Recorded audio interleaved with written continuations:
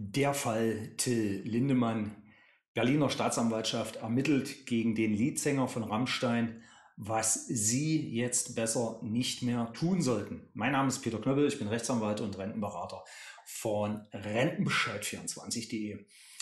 Bevor ich mich zum äh, gerichtlich zugelassenen Rentenberater spezialisiert habe, habe ich ähm, auch eine Zeit lang Strafverteidigerarbeiten gemacht. Ich war auch Pflichtverteidiger und zwar beim Amtsgericht Halle und beim Landgericht Halle. Das heißt also, ich habe ein bisschen Kenntnisse im Strafprozessrecht, aber auch äh, aufgrund der äh, fortschreitenden äh, Zeit, dass ich, wo ich als Rentenberater tätig war, geht dann natürlich vieles auch verloren, das ist ganz klar. Aber so rudimentäre Kenntnisse habe ich. Und wir alle wissen ja, dass seit Juni diesen Jahres äh, im Fall Lindemann, Till Lindemann, hier ähm, gegen den Herrn Lindemann, Liedsänger, äh, schwere Vorwürfe er erhoben worden sind. Es geht wohl um sexuelle Übergriffe, Machtmissbrauch und äh, was auch immer dort alles äh, mitgeteilt worden ist. Das hat sich erstmal außerhalb eines, eines staatsanwaltschaftlichen Ermittlungsverfahrens abgespielt.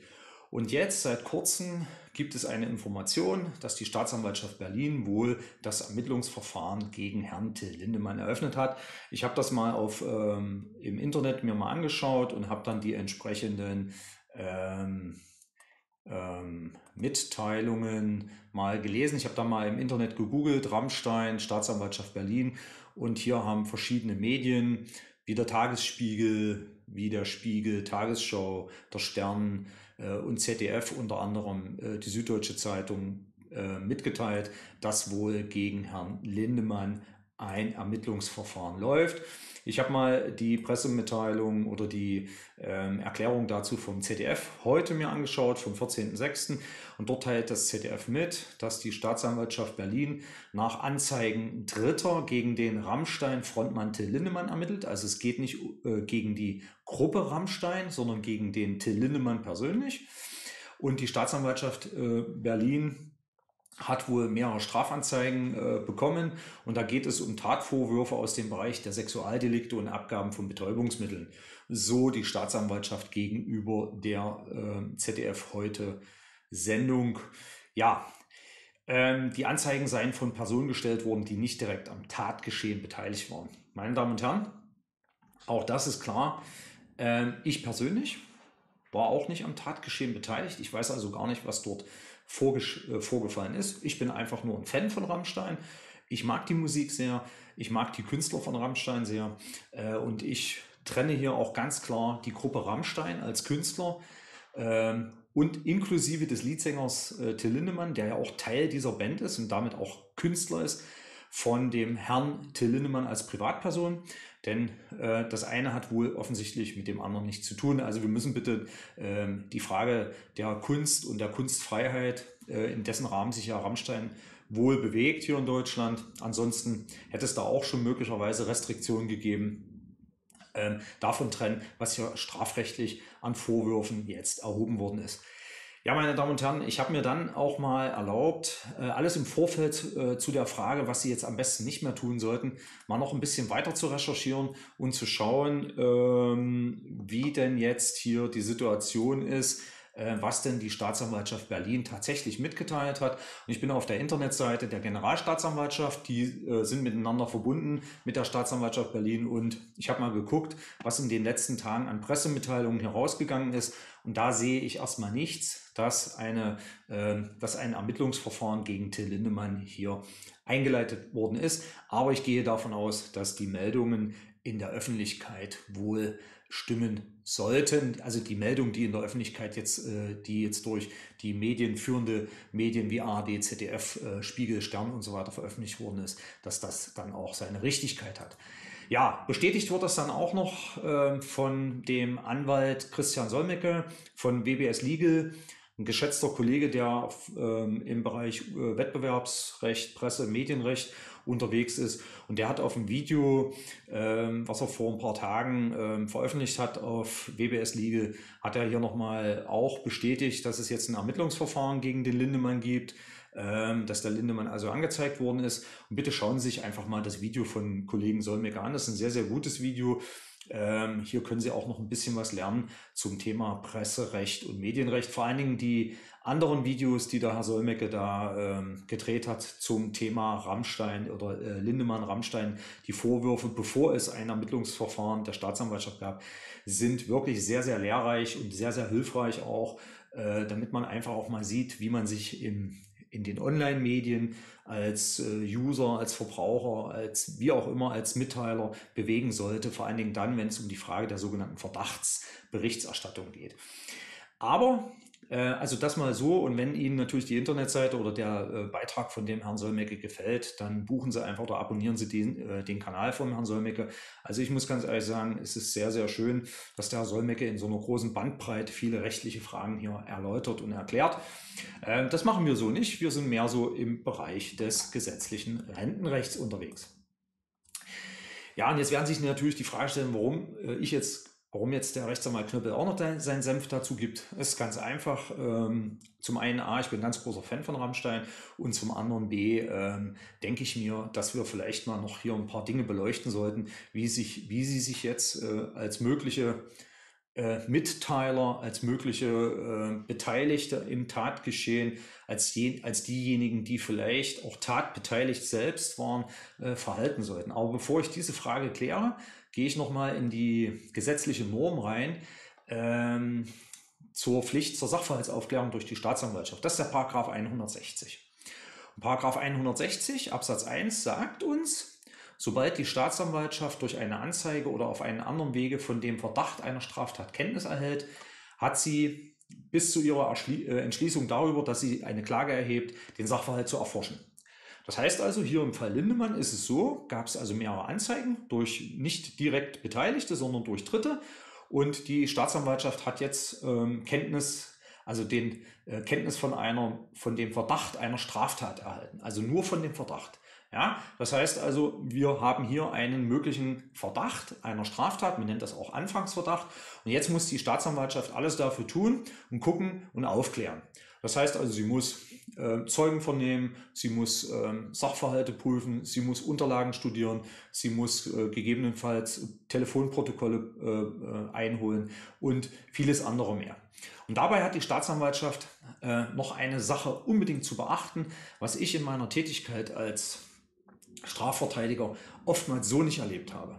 Die Staatsanwaltschaft hat, das steht im Paragraph 160 Absatz 2, nicht nur, zur, nicht nur die zur Belastung, sondern die auch zur Entlastung dienenden Umstände zu ermitteln. Das heißt also, die Staatsanwaltschaft darf nicht wie ein blinder Hund äh, nur den belastenden Tatsachen hinterherlaufen, die möglicherweise gegen Herrn Lindemann jetzt ermittelt werden, sondern sie muss auch entlastende Tatsachen äh, prüfen und auch suchen. Gegebenenfalls, wenn sie Hinweise davon äh, äh, erhält, dann auch letzten Endes dazu äh, Ermittlungen anstellen. Denken Sie bitte immer an den Fall Kachelmann. Der Fall Kachelmann hat es uns gezeigt, wie äh, hier die Dinge einfach liegen. Ich äh, spiele hier noch mal ganz kurz die Paragraph 160 Absatz 2 Strafprozessordnung ein. Dann sehen Sie das alles noch mal. Meine Damen und Herren, jetzt komme ich zu der eigentlichen Antwort meiner Frage. Wie sollten Sie sich verhalten? Und da müssen wir auch wiederum zwei Ebenen äh, unterscheiden. Ich gehe jetzt mal nicht in die presserechtliche Ebene. Da schauen Sie sich bitte äh, bei WBS Legal auf YouTube von Herrn Solmecke bitte die Videos an. Der erklärt das viel besser als ich. Ich habe vom Presserecht keine Ahnung. Das lasse ich jetzt mal völlig außen vor. Aber jetzt müssen wir bitte Folgendes äh, beachten. Die Staatsanwaltschaft Berlin macht ein Ermittlungsverfahren. Und dieses Ermittlungsverfahren dient ja dazu, den Sachverhalt aufzuklären. Also der Frage nachzugehen, hat sich der Lindemann tatsächlich strafrechtlich zur Verantwortung zu ziehen? Ja? Und wenn, wenn ja, wie endet dann das Verfahren? Entweder durch eine Verfahrenseinstellung, wenn die Schuld nicht so besonders hoch ist, oder äh, wenn sie doch ein bisschen höher ist als nicht ganz so hoch, dann vielleicht mit einer Geldzahlung oder aber möglicherweise auch mit einer Anklageerhebung. Das sind diese drei Dinge, die dann sozusagen dazu führen. Oder aber die Staatsanwaltschaft, das ist der vierte Weg, sagt, nee, an den ganzen Vorwürfen ist nichts dran. Äh, das Verfahren wird nach Paragraph 170 Strafprozessordnung gegen Herrn Lindemann eingestellt. Dann ist Herr Lindemann sozusagen äh, sauber. Ja, also so kann man das dann letzten Endes sagen. Aber die, und jetzt müssen wir unterscheiden, diejenigen, die möglicherweise in dieser ganzen Konstruktion äh, rund um diese Tatvorwürfe, die jetzt erhoben worden sind gegen Herrn Lindemann, mit irgendwie mit beteiligt sind, und möglicherweise vielleicht sogar sich strafbar gemacht haben könnten, die sollten sich bitte einen Anwalt nehmen. Denn jetzt ist die Staatsanwaltschaft Berlin mit dran. Die sollten sich einen Anwalt nehmen und sollten prüfen, ob sie nicht sich möglicherweise strafbar gemacht haben. Im Zusammenhang mit den Tatvorwürfen gegen Herrn Lindemann. Wer das sein kann, das weiß ich nicht. Aber vielleicht gibt es ja solche Tatbeteiligten, die mit dabei waren, die das vielleicht, die die Tat mit gefördert haben oder was auch immer da gemacht haben. Die sollten A zu ihrem Anwalt gehen und B einfach die Klappe halten.